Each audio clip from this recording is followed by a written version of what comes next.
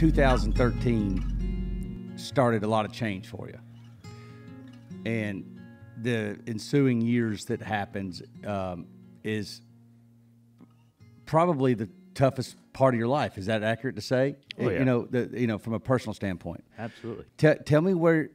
Walk me through. To start, you know, walk me through this 2013, and and from a personal level, how things, how, how you were managing things, and how, how you were able to deal with it. Obviously, it was well documented.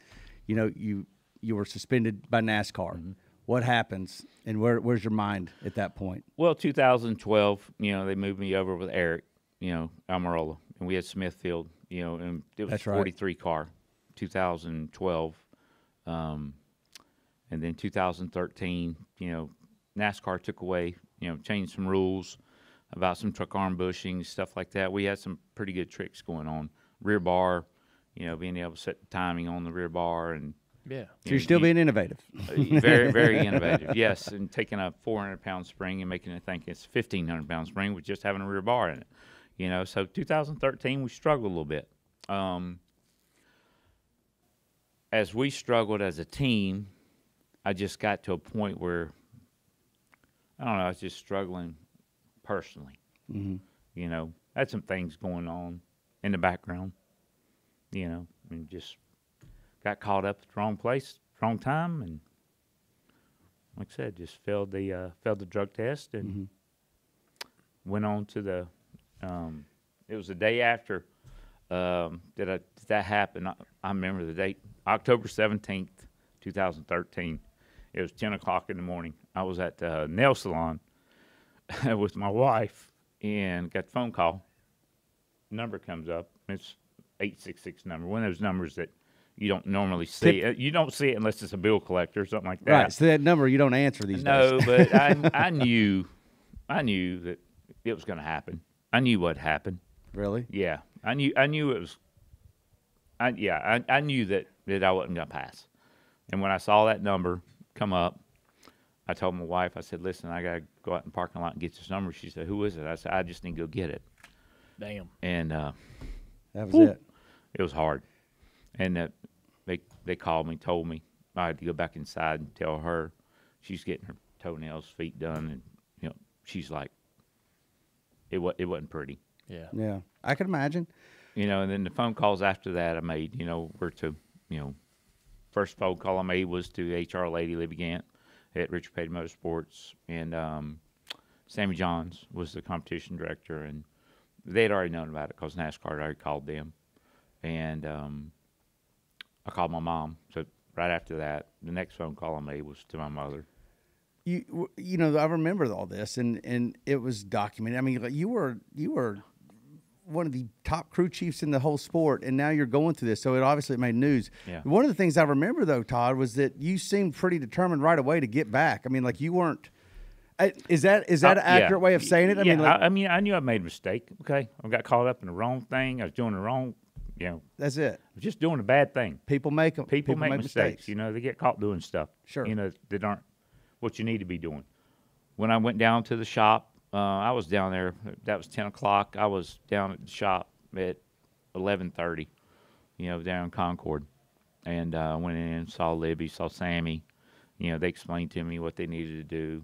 You know, turn my hard card in, and all that stuff. And as soon as I walked out that door, as soon as I walked out the door, I called John Bobo, who was in, John Bobo Yeah. who's in charge of uh, NASCAR's substance abuse program, and told him, said, "Listen, I, s- I messed up. I know, but you tell me what I have to do to Right. get back, Right. because I'm better than this." Mm. You know, so So how did that experience go? How was that, you know, getting back? Was was- it was it- it smooth? Was it successful? Was it yeah, yeah, it Did was it- very, yeah, it was did it- very successful. did it did it did it stick? Oh yeah, absolutely. You know, it was it was something that I mean, I mean, I just embarrassed my whole family. You know, me as a person, the su- success that I'd had. You know, talking about all the stuff. Um, it wasn't me. You know, and um, I knew I had to do it. You know, and you know, like I said, I had um, classes and you know taking random drug tests and things like that. I mean, it was just you, you never knew whenever you you were going to have to go do it. And um, I think that lasted from let's see, 17. So probably the middle of October, all of November, all of December, and I think it was uh, January 7th, right before Daytona testing, that I got reinstated. What's that feeling like? Good. Yeah, real good. I know, bet. Yeah. So actually, the uh, the night bef- the night I got the phone call from John Bobo, you know that everything was good. I was reinstated. The next day, uh, me and my dad got in the car and uh, drove to Daytona and went to the January test at Daytona. And you know, I wasn't gonna hide. Walked around the garage, talked to Ed, Lenny Wood, um, all my friends. You know, they're like, "Man, really?" I'm like, "Yep, happens to the best of us." Yeah. And um, I saw Tommy Baldwin, and he said, "Hey, listen, when you get home, give me a call." And And you went to Baldwin's. Yeah, You, you, you, that's where you spent 2014. yeah, 2014, I was there and um, working with Reed Sorenson.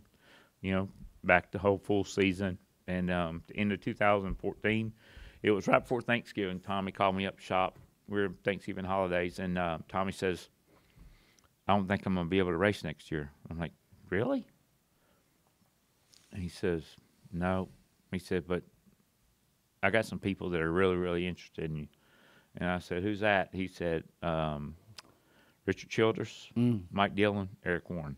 I'm like, "At RCR?" he said, "Yeah," because we were getting cars and stuff from them, and um, I'll never forget uh, that night that I got home. It was right before Thanksgiving. Um, Richard called because um, Tommy gave me his number, and uh, he called and said, "Hey, listen, I want you to come uh, run this Xfinity program for me." I'm like, "What do you mean run the Xfinity program?" Like, want me, crew chief said, "No, I want you to come be the competition director for these four teams." And I'm like, "Wow, okay." Uh, That's got to be an amazing feeling. I mean, like Oh. it's got to be the, s- i- i- if not more than even the reinstatement. I mean, It- now you got legit guy. I mean, at the top, This Richard is Childress. this is Richard Childress. This is Richard Childress. This is his Xfinity's program, and you know, because you've driven his Xfinity cars, and I heard you talking about that Oreo car and all Yeah. that stuff. His Xfinity program, the way he looks at it, is means as much to him or more than his Cup program. Yeah. You know, so I knew that, and um, went down there, like I said, and talked to Mike Dillon, Eric Warren, and they put me in charge, running, you know, with all those different different crew chiefs, and uh, you know, now I'm working with four different personalities. You know, uh, had Shane, um, Mike Hillman Jr., uh, Danny Stockman, and um, Dick Harrison.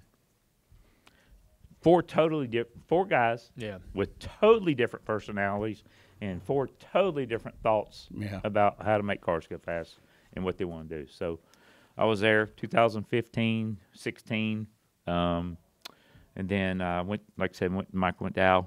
Why did you do that? Like, okay, so you get this opportunity at Richards to sort of oversee this um, Xfinity program. You talked about how important that program is to Richard, and um, this is a this is a really great opportunity for you to sort of establish yourself back into the fold in the industry.